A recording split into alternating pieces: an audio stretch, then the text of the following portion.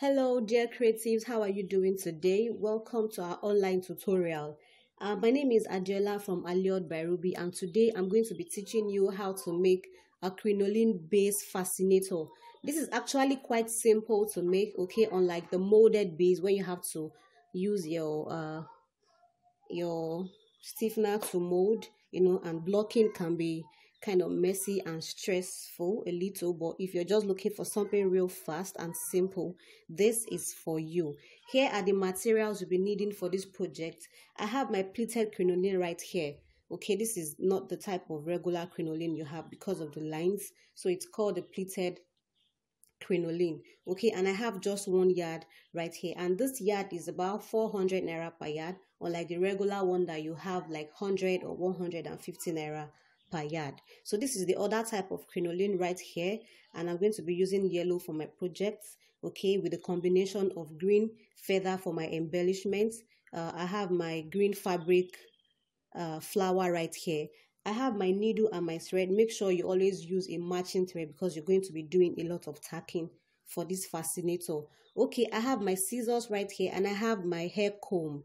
Okay now if you're making for a child you can decide to use a smaller comb. But if you're using for an adult you can use a, a wider uh, comb. But all the same if you determine if you if you discover that your hat is not so big enough just go ahead and break your comb into two and it will just fit perfectly. Okay so um the the uh the um how big this fascinator will turn out to determine the hair comb I'm actually going to attach to it. I also have my bias right here. This is called bias tape and I'm going to be using it to tape the edges of uh, my crinoline. So let's get started. Okay, welcome back and I have my crinoline right here. So this is going to form my base. There are two ways you can make your base from your crinoline. You can either fold it into two this way before you use your needle uh, and thread to pleat. Okay, so by the time you are done, you have uh, like a round base folded at the edges right here or you can decide to open it up this way. And when you are pleating make sure you check for the woven part of your crinoline. Okay this part is going to be this part is going to be uh in front and this part is going to be pleated. Okay this is going to be the part that goes in between. I'm just going to go ahead and fold this. You can go ahead and fold it the way you like but i just want a round uh pleat uh, a round uh, base for this project. Okay so i'm just pleating it the way i want it to be. So make sure you hold it in place gently okay? Just hold it in place. Before you tack make sure you have gotten your desired uh, shape for your base before you start tacking okay? And tacking basically is just to hold it in place okay so I like it the way it looks this way and I'm just going to go ahead use my needle and my thread to tack it to make sure I secure this ruffle in between. Okay so I'm going to go ahead and tack this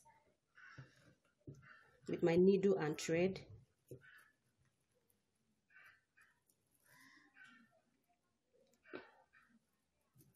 Okay this is quite simple to make. You can make this for yourself at home for your uh, little princess dress you know just something very light and can also be used uh, for bridal trains and for weddings. So i'm going to go ahead and tag this and when i finish tacking it i'll show you how the base looks like. All right welcome back dear creatives and this is my base right here okay? So i love the way it turned out all right? So i'm just going to go ahead and leave the excess thread right here. Okay now you determine how you want your uh, base to sit on your head. If you want it this way then you tack your comb this way. Okay? If you want it this way like you want it to sit on your head like this then you tack your comb this way. So i'm going to go ahead and use my bigger uh, hair comb because this base is quite wide enough okay for an adult. So i'm going to go ahead and tack it down. And please do not cut your uh your thread because you're going to use it all through except you don't have a a longer thread. Then you can just make sure you thread another needle. Okay so i'm just going to attach it this way.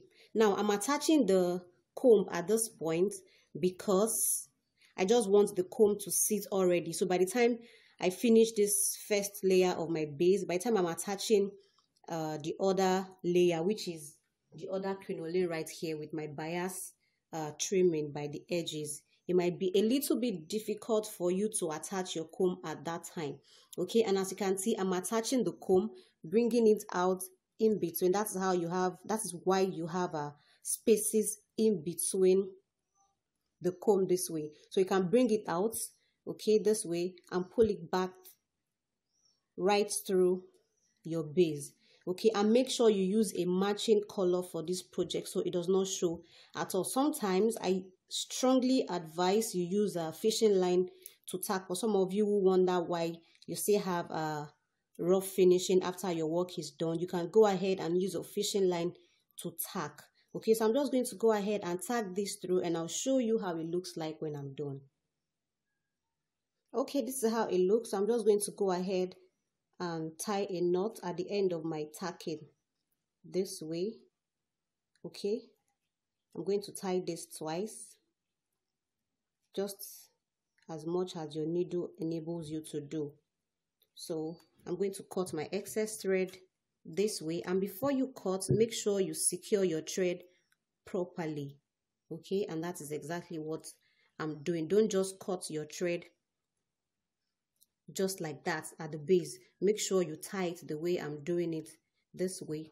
Then you are sure that your rope uh, your thread does not come off okay? So the reason why it's best for you to tack with needle and thread is for you to secure your comb properly. Sometimes you might decide to add glue using the candle glue but you discover that after one or two wear the comb comes off and that is not too good for your product okay? So this is that about the first layer of my base. I'm going to put this aside and i'm going to go to the sewing machine to use my bias tape just to cover the edges of my crinoline. Okay you can decide to cover cover just one edge but i'm going to go ahead and cover the two edges because of the design i'm going to be making. Actually it's a bow but i prefer to have my both side of my crinoline uh taped or covered to give it another effect. All right so i'm going to go ahead and do this on the sewing machine and i'll show you what to do next